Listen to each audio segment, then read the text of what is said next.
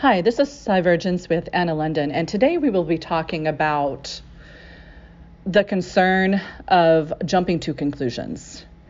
It is incredibly important in cybersecurity, both physical and logical, that we do not assume, right? Make any assumptions on what is or isn't there, especially when we're analyzing logging analyses, you know, from our Splunk logs or our LogRhythm logs or our solar rhythm logs or our honeypot or honeynet threat intelligence or our vulnerability analyses from the reports, right, of findings um, that we glean from Tenable Nessus scans or what have you. I say this because a lot of um, people, especially in today's industry, are news, um, unfortunately, are jumping to conclusions and putting bad data out there, which is a huge concern and can incite, um, you know, a potential war, both physical or cyber war. Um, and I say this because we all need to be responsible in our messaging, right? So, you know, I always teach, you know, when we're briefing our cyber executives, for instance, or whatever level in the echelon that we're providing that briefing to of findings and risks and alternatives, right? Um, that we brief to fact, okay? We're matter of factly and we and we speak to the good, the bad, the ugly, right? So that we can identify problems and of course work to enact, you know, change, you know, actually actual conduct a root cause analyses, you know, to identify the root of the problem, especially if it's systemic, right? And take action to change it, okay? Um, right now, I'm going to say this because, you know, the majority of our Congress, right, and include our President of the United States, uh, with all due respect, do not have a background in cybersecurity, right? A lot of them are lawyers and come from a lot of other capacities, right? But they do not have a background in security. I think the only one that does, to my recollection, um, is Don Beyer, and he's the district representative for uh, Northern Virginia in fact, he's in my district, to be quite honest with you. And he just attended a, you know, he went for AI training or what have you. So at least he's trying to obtain some type of knowledge, if you will. But learning buzzwords and what have you, right, is not enough. Um, it's incredibly important that everyone, that our cyber um, SMEs, right, subject matter experts, engage, you know, our district men and women, our congressmen and women, right, to provide advisory services so that we can help them make more informed decisions, especially when it comes to our nation's uh, cybersecurity, right, and critical infrastructure protections, right.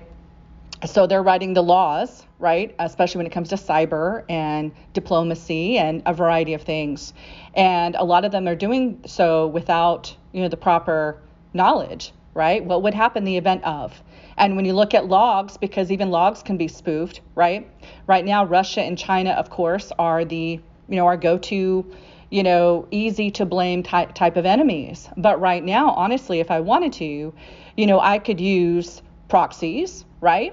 Uh, proxy firewalls and servers or what have you, and I could actually spoof my location and actually make it look like I'm coming from Russia or China or Iran or what have you to um, hack the Pentagon or what have you right?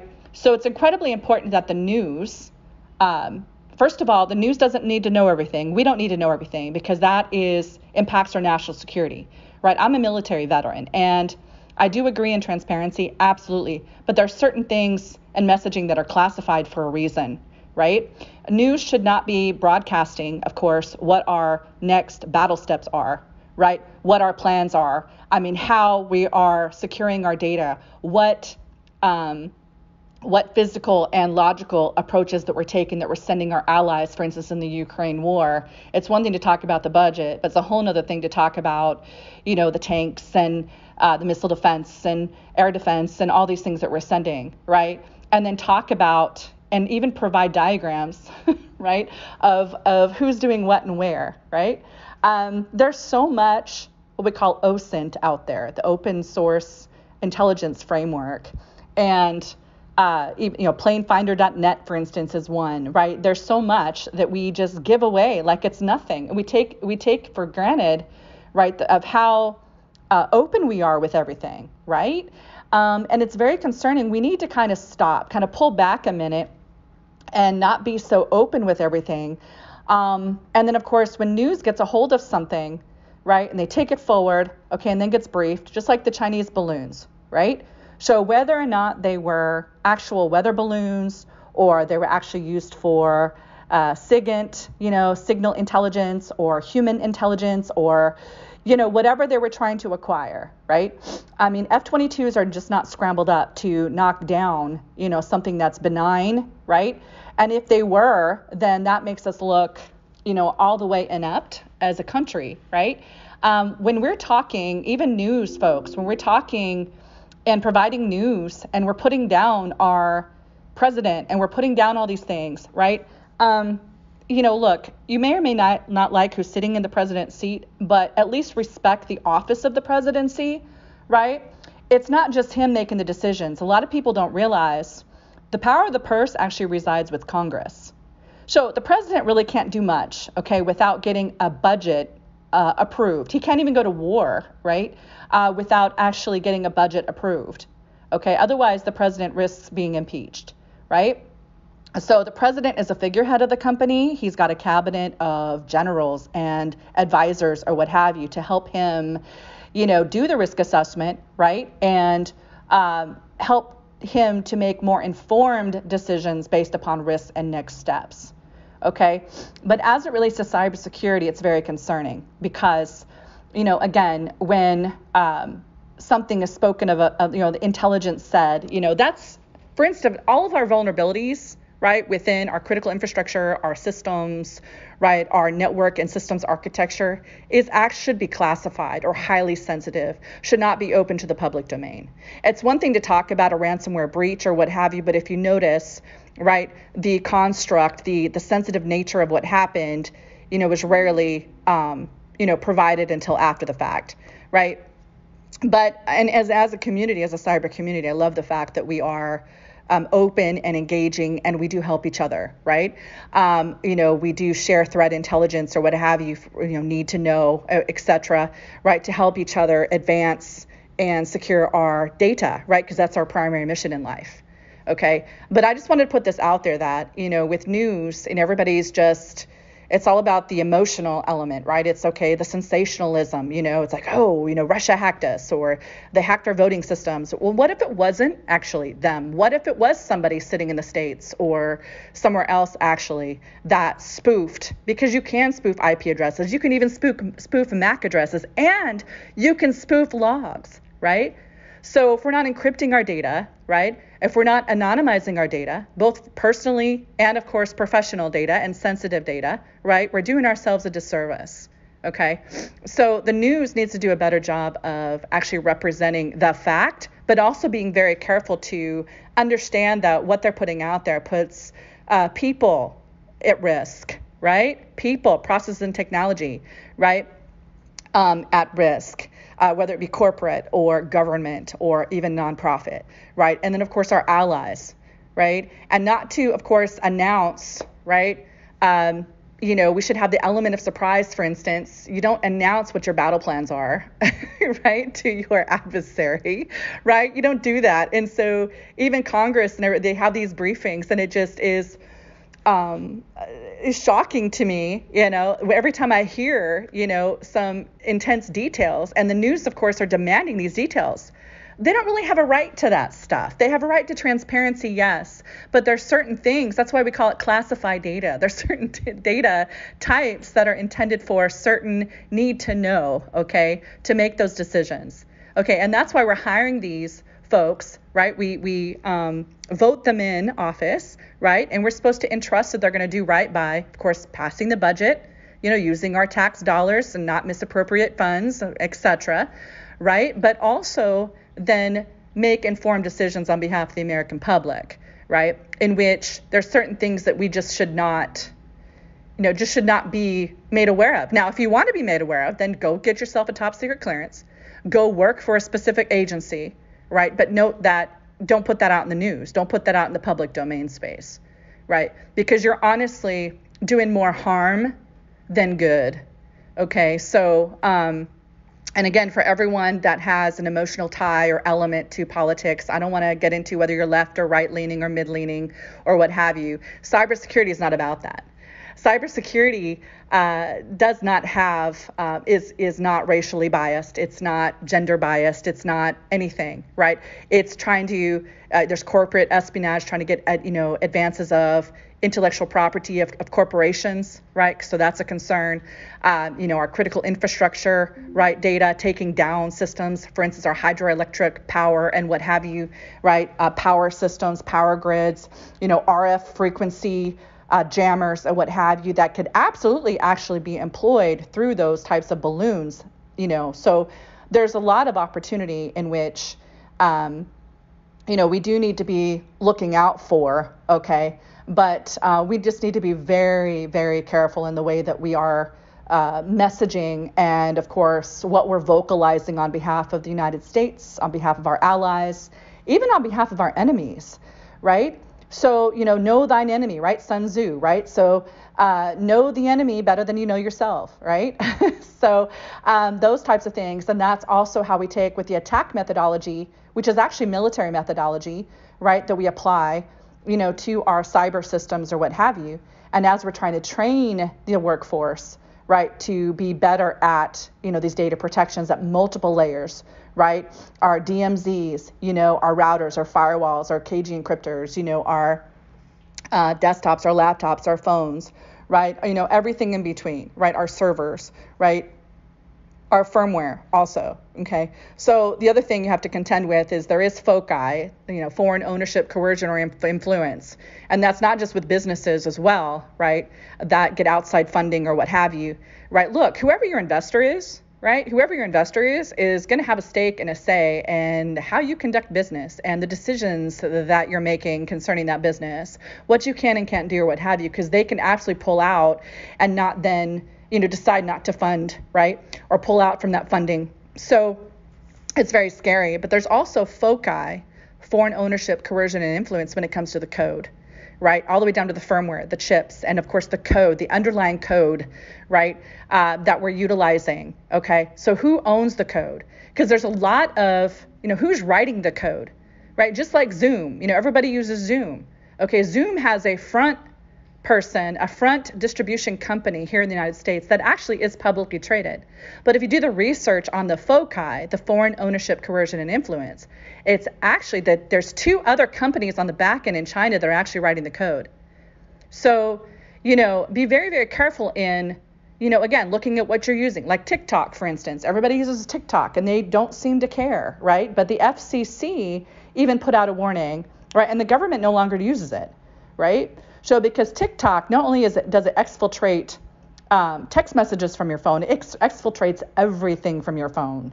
Your pictures, every time you log into something, it's capturing your keystrokes, your passwords, right? Uh, pictures, you know, text messages to and from, right? Um, you know, everything, you know, everything you're pulling up. And a lot of people will check corporate emails or what have you on their phones. So just note that it's taking keystroke per keystroke, um, you know, off of what you are actually doing. And of course, even in our Zoom, right? So in our Zoom meetings or what have you. So be very, very careful on what you're explaining in these messaging for- forums, right? Make sure you're securing your homes. Also, good cyber hygiene starts at home. So even though you're given, for instance, you know, whenever I support a government client, you know, or whatever, whenever I was government, I would be given a GFE, a government furnished equipment, right? That would have a VPN. It would be a standard imaged laptop that I would use to remote into and do my job as long as it wasn't classified, right? So unclassified stuff I could do from home, checking email, those types of things. But obviously classified stuff I'd have to do in the SCIF, you know, um, the facility in which classified information is supposed to be uh, managed and maintained. Okay. So, you know, everything has to be tracked. Even when you print something off, everything has to be tracked. And then there's the e records retention program that OMB put out as well. So, everything from your uh, social media accounts, if you're using them for official use, right? So, just like the president's account, technically speaking, Trump's account that he was using during his presidency, uh, because he uh, transitioned from using it from personal to per- professional use right? Uh, in, a, in an official capacity, honestly, that handle no longer belongs to him, nor does the data. okay, and those um, instant messages and, the, and those tweets or what have you that he was using, right? So that goes the same for Biden, that goes the same for um, you know, Kamala Harris and what have you. So any of the congressmen and women, right? If, if you're using social media in a in an official capacity, there's the e-records management, e-records retention, uh, you know, provision that OMB put out, the Office of Management and Budget. You can look it up. Um, the memorandums are out there. You can see it, okay, and the requirements therein, okay. So honestly, they're supposed to transition when they transition out of a of a position into a new one, or no longer in that position. They're supposed to actually hand over whatever documents, whatever instant messages, whatever whatever they were using in an official capacity belongs to the government right? And then of course NARA gets involved, et cetera. That's why you're hearing a lot about our National Ar- Archives, right, agency, because they also handle a lot of that stuff too. Um, be able to archive that data and what have you. And then each agency has a requirement too for data retention of logs, of messages, right, and a variety of things. So there's a lot involved with this, and I think we've just been very um, lackadaisical, very complacent about our way, the way we're handling data, the way we're messaging, right, in the news and others. And news people, just because you get a hold of classified data doesn't mean you need to put it out there to, you know, to the public domain. Because honestly, that hurts more than helps. It really does. I mean, it really does. Um, so, you know, again, transparency, yes, but go through the proper forums and the proper chain of command in order to, you know, if you identify something, you know, don't go out there and share it with the news, right? Go out, go and work within your chain of command to enact change, right? Um, that's what we're supposed to be doing, okay?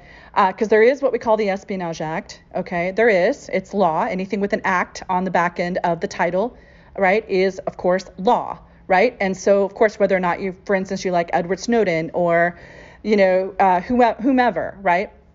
Um, if you are taking, you know, we're entrusted when we get clearances, we're entrusted with the protection of that data.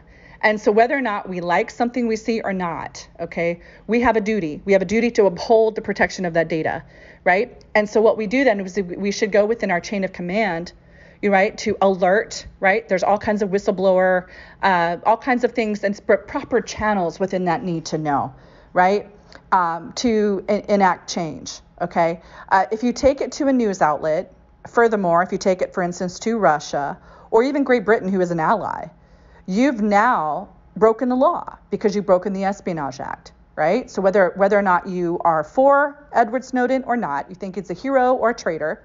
Uh, personally, I think he's a traitor, right? I do appreciate transparency and honesty with things, right?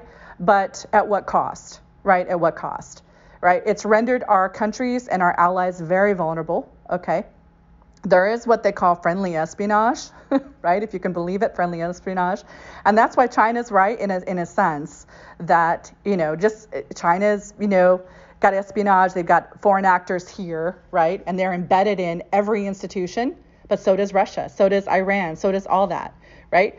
Um, and and of course, you know, we've got the same. So we're, we're doing a lot as well for human intelligence, signal intelligence, right? All the all these things that we're all collecting on each other. It doesn't make it right, okay? Um, and so then therefore the proper vetting, right? And going back, if you are going to do business, for instance, I have a business myself, so I have to be very careful on where I'm getting funding from, even if it's from an overseas investor, because I want to look at the ties. So do a background, do your due care due diligence. Look at the back background right? With Ford, for instance, Ford and the ties to the company that's providing the EV, right, battery uh, component, right, in Michigan, right? I guess they're tied to the PPC, right, in China, right? But do the back end due care due diligence, right? It's just like if I was to take and you know, do business with, I don't know, some overseas element and they had ties to ISIS or something, right? You have to be very, very careful. Do do your background background check and do your due care diligent due diligence on who you're doing business with, right? Um, because again, it's the foreign ownership, coercion, and influence, right? Um, so I'm not saying don't do business overseas. Absolutely, that's what helps our global economy thrive. Okay, but just remember to do your due care due diligence and to make sure you're not getting in bed with a criminal organization or one that could put our national security at risk or what have you. Right? That's all I'm saying. So, anyways, like I said, don't jump to conclusions. Right? Just to summarize, don't jump to conclusions Don't put emotions in. Leave the emotions at the door, okay? Especially when you're reporting for work in cyber, right? Or any job for that matter. And just look at the fact, right? Look at the fact. And don't look at things like memes either. Do some deep dive analyses of really what's going on, right? If you see logs coming in that look like IPs from China, China or Russia, okay, is it though really? Because again, remember I said you can spoof those IPs. You can even spoof MAC addresses, right? So make sure you're doing a deep dive analysis before you, uh, you know, say this, say the sky is falling, right? Um, you know, make sure that is in fact, you know, who we're dealing with, right? Do that root cause analysis to deduce whether or not it is a foreign actor or somebody in their basement, for instance, in the United States or in one of our ally countries, you know, just trying to cause up problems, right? Uh, which happens too, trust me, right? So, you know, look in our own backyard as well, because there's a lot of people that want to incite violence and riots and um, problems or what have you, and divisiveness and everything else, right? But that's what I like about cyber because our community is not divisive at all. It's all about fact. It's fact driven. It either is or isn't. And we hire people based upon knowledge, skills, and abilities, right? So that's what's cool. And we do share a lot to improve, you know, upon our ability to, you know, protect our data. But just be careful though with that regard. Do, does the person that you're sharing with, right, whether it be a colleague, right, somebody in another agency or somebody in the news or whatever, do they really have a need to know, right? Really?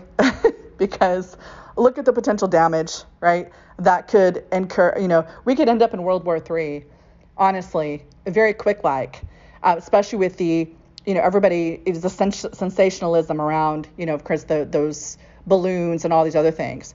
You know, was it, was it not, right? But before you sit there and go on behalf of Congress, on behalf of the Pentagon, on behalf of the White House, even, or even in news, and say we're going to be in a war with China. Do you know how many times I've heard that in the news right now? We're going to be in war with China by the, by 2025. Really? And you want to announce that though? If in fact that was the case, do you really want to announce that, you know, to the world? Okay. So that's just getting that's just letting our enemy then know if in, if in fact it is going to be China, right? That's just letting them know, okay, 2025, yep, we're going to do it in the middle of the the next elections right? And when everybody is distracted or what have you, great opportunity to, I mean, really, you're actually given their battle plans, their battle strategy, which is the dumbest thing possible, right? Read Art, The Art of War, Sun Tzu for starters, right? Um, anybody in the military, of course, naturally has read it, right? A lot of us read it. Um, anybody in strategy also, you know, reads that book as well. But read that book, okay? It's not very, very long at all. Um, it's got some amazing insights on battle strategy that also applies to cyber strategy. So, anyways, with that said, this is Cyvergance with Anna London closing out, at least for this episode, and I look forward to seeing you in the next.